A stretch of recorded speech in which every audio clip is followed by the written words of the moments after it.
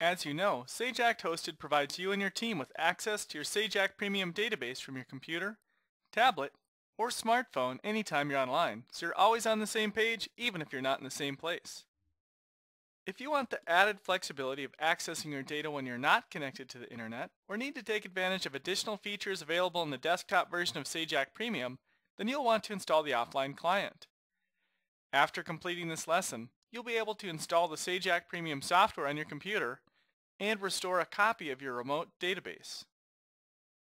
The Sage Act hosted offline client is simply a local installation of Sage Act Premium and a local copy of your Sage Act hosted server data. This database is pre-programmed to synchronize periodically with your Sage Act hosted server so your data may be updated when you're connected to the internet.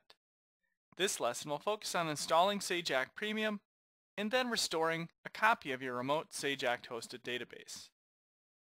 After you've signed up for the Sage Act hosted service and completed the Getting Started process, you'll receive an email message with the offline client setup instructions. This same email message includes several important links to download the Sage Act software, as well as your remote database. So the first step is to download the Sage Act software and then install Sage Act Premium. Locate and click the link in your email message. If Internet Explorer Security blocks the download, click the warning message and then choose Download File. Click Save and save the file to an easily accessible location, such as your desktop. If you'd like to view or print step-by-step -step instructions, return to your email and click the next link that will open the knowledge base article on installing Sage Act Premium.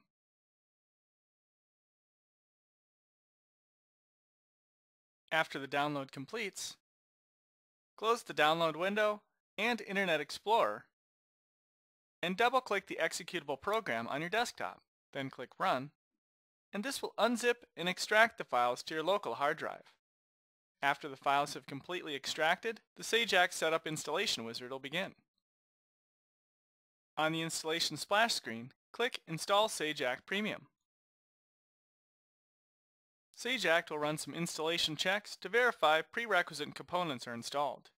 If these components are not found, they'll be installed prior to Sage Act program files and Microsoft SQL Server getting installed on the machine. After the prerequisite components are installed, select your regional version,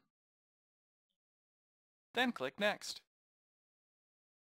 Read and accept the licensing agreement, and to perform a typical install, verify the option is selected. Otherwise, you could choose a custom install type.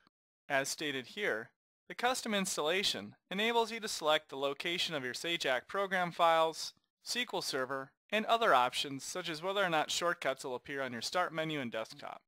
For this example, leave Typical selected and click Next.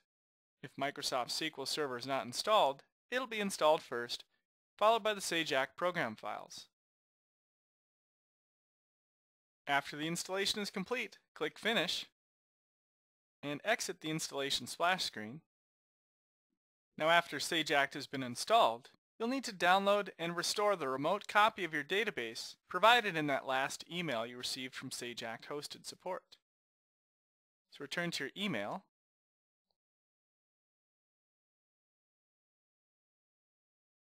Scroll to the section entitled Installing the Offline Client and you'll find a link to download your Sage Act hosted remote database. Click the link to begin the download. Again, click the Internet Explorer security banner and choose Download File and save it to your desktop. Close Internet Explorer and double-click the .rdb file on your desktop to begin the restoration process. You may optionally specify an alternate location to which to restore the file, or simply accept the defaults and click OK. By default, the file is restored to your Sage Act folder in your Personal Documents folder. After the remote database has been restored, you're prompted to delete the original file. Click Yes to remove the file. Enter your username and password for your database, and then click OK. Next, you are asked if you'd like to synchronize with the main database. Click Yes to proceed with the initial synchronization process. You'll want to verify the process is working by paying attention to the status bars. Each step in the synchronization process is carried out, and you'll see a green check mark when it completes successfully.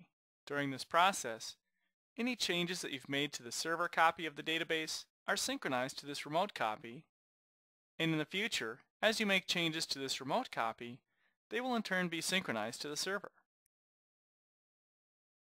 After the synchronization completes, a status message is displayed, and if you've encountered any errors, you may optionally click the link to view the sync log.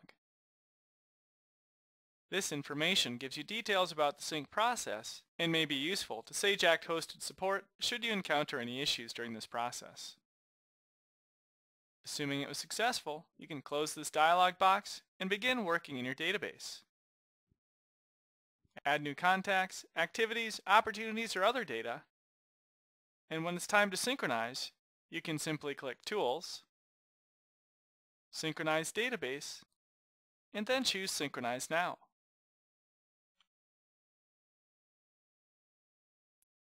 In addition to performing synchronization manually, you can select Tools, Act Scheduler, and create a task to automatically sync based on a predefined schedule. Under Scheduled Tasks, click Create a Task, browse to your database file on the local machine, enter your username and password, and then click Next. In the task list, Select Database Synchronization, and then choose Next. Then using the options available, specify your schedule for sync. Then click Finish. Finally, choose Exit. Then you can get back to work in your database and let the Act scheduler keep the local and server copy of the database up to date. To review, the final steps to setting up your offline client include installing Act Premium on your local machine, and then restoring a copy of your server database by downloading that remote database file and double-clicking it to start the restore process in Sage Act. Finally, use your Tools menu to either perform a manual sync or set up automatic synchronization using the Act Scheduler. As you have learned, installing Sage Act and restoring a copy of your Sage Act hosted database to your local machine enables offline access to your data the option to import data, or use additional add-ins such as Sage Marketing for ACT. Following these steps for any of your offline client users gives you the flexibility to access data even when you're disconnected from the internet, or use your desktop or mobile device browser to access data online.